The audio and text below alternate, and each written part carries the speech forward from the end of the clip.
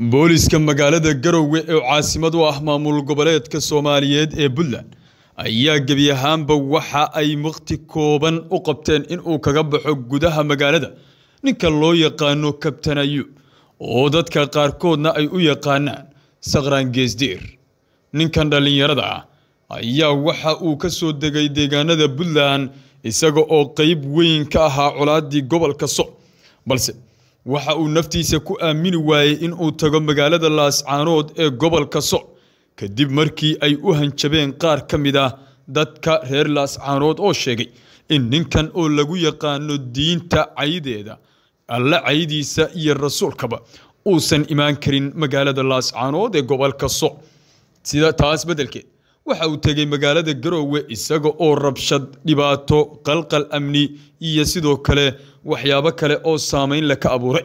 Arrintaas ayaana waxay sababtay khasaare isugu jira dhimasho iyo dhaawac. Haweeney dhallinyaro ahayd oo saddex caruura oo saqiira ka tagtay ayaana shaqaaqadaas ku geeriyootay. Waxaa xabsiga la dhigay qaar ka mida dadkii la socday. Isagana waxaa si toosa loogu amray in uu gebi ahaanba garoowe kaga baxo labaatan iyo afar saac muddo ka yar.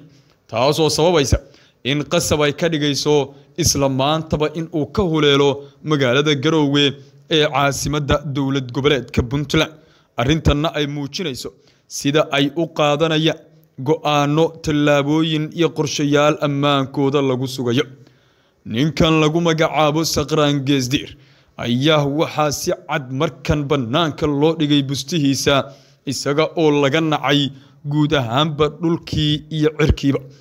In loo diiday magaalada garoowe oo isagu uu maamulkii ka soo jeeday caasimadu waxay muujinaysaa inaysan jirin wax dambe oo dheef ah oo uu ku leeyahay dhul soomaali degto. Maadaama markii hore inta kale uu cay nafta uga qaaday islamarkaana uu baraha bulshada ka caayi jiray. Haddana halkii meel oo islahaa aad ku gabatid dhibaatada intaas la-eg uu ka abuuray laguna qasbay in waqti kooban uu kaga baxo. Laascaano iyada hawsheedii waa soo dhammaatay oo marba haddii garoowe laga cayriyey ma jirto fursad kale oo uga furan dhankaas iyo magaalada laascaanood ee gobolka soc waxaana tani ay muujinaysaa in la joogo xilligii ugu adkaa iyo sidoo kale wakhtigii ugu xumaa ee ay si rasmiya u qaadan lahaayeen.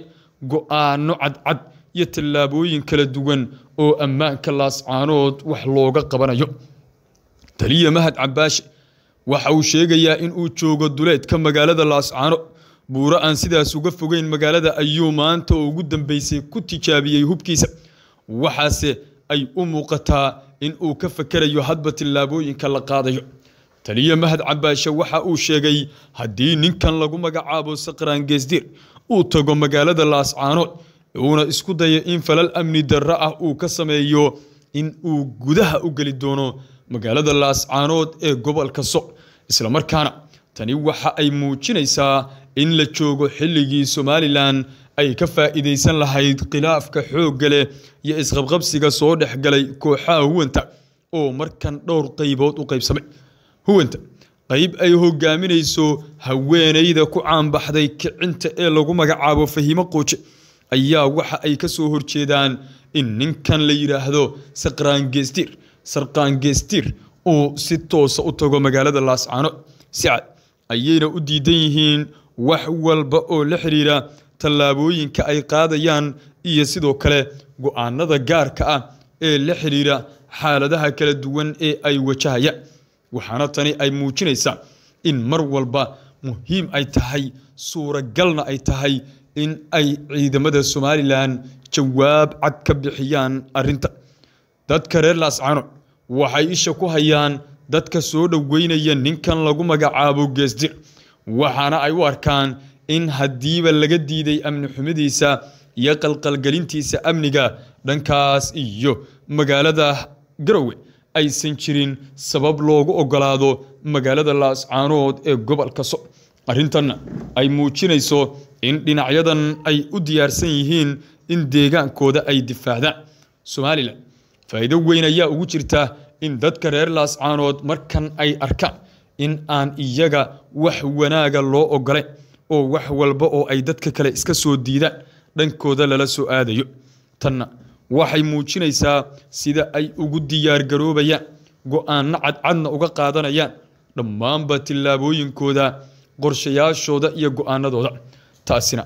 Waxa ay soo dhoweynaysaa hadba go'aanka gaarka ah ee ay gaarayaan iyo sidoo kale qorshayaasha gaarka ah ee ay hoosta ka xariiqayaan. Kooxahan ayaa marba marka ka dambeysa xaaladoodu ay ka dhigaysaa in si weyn ay uga fakerayaan dhammaanba qorshayaashooda. Waxaana ninkan lagu magacaabo kabtan ayuub uu u muuqdaa in aysan waxba u dhicin sidii uu soo qorshaystay. Waxa uu arkay in ay soo dhoweysanayaan islamarkaana dadka oo dhan raba. Waxa uu arkay in uu yahay nin cid walba caayay marka laga tago dadka reer puntland balse markan waxa uu arkay in aysanba jirin meel laga jecel yahay islamarkaana cid walba ay ugu muuqato xaaladdu inay marayso heerkii ugu hooseeyey fashilka ceebta guuldarrada iyo sidoo kale tillaabooyinka gaarka ah ee ay qaadanayaan ayaana ka dhigaya in mar walba ay dhinacyadu diyaar u noqonayaan inay ka jawaabaan go'aanadooda kala duwan kana fakaraan hadba masiirkooda. In saqraangeesdiir loo diiday magaalada laascaanood ee gobolka sool ayaa waxay muujinaysaa in huwantii ay sii kala daadanayso in ay ceeb iyo fadeexad ku sii kala tegayso iyo in mar kale laascaanood iyo dadkeedu ay dareemayaan somalilan iyo waxa ay ugu fadhido. Sidoo kalena ay fahmayaan hadba go'aanada gaarka ah ee dhinacyadu ay qaadanayaan tallaabooyinka la xiriira iyo sidoo kale qorshayaasha kala duwan ee ay hoosta ka xariiqayaan.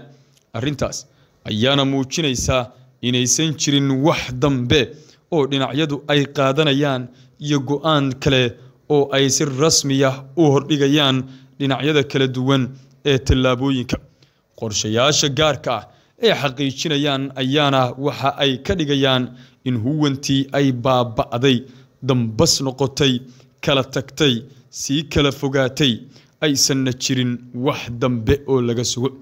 Kooxaan huwanta ayaa marba mar ka dambeysa khilaafkoodu uu sii badanayaa sii xumaanayaa islamarkaana waxa ay sii kala tegayaan magaalooyinkooda. Markii hore dhulbahante iyo warsangeli ayaa kala fogaaday. Dhulbahantuhu waxay leeyihiin nalal ista wax la yidhaahdo s c warsangelina waxay yidhaahdeen haddaan meel joogayno waxaan ahaanaynaa dad reer puntland oo puntland iyo somalilan ayay u kala qaybsameen. Dhulbahante halkaas haddii ay ku kala tageen mar kale ma jeerteen dhulbahantihii ayuu ku yidhi puntland nagula biira balse iyaguna waxay dhaheen puntland ma rabnee s c baan ahaanayna ma jeerteen? Iyo dhulbahantana halkaas ayay ku kala tageen xaaladuna waxay maraysaa nin walbow nafta nebiyo ummadda somalilan ayaana markaan haysataa fursaddii ugu muhiimsanayd haddii laga faa'iidaysanayo dhuuxa wararka amuuraha uu idinkugu talagalina waa intaasi ammaan allah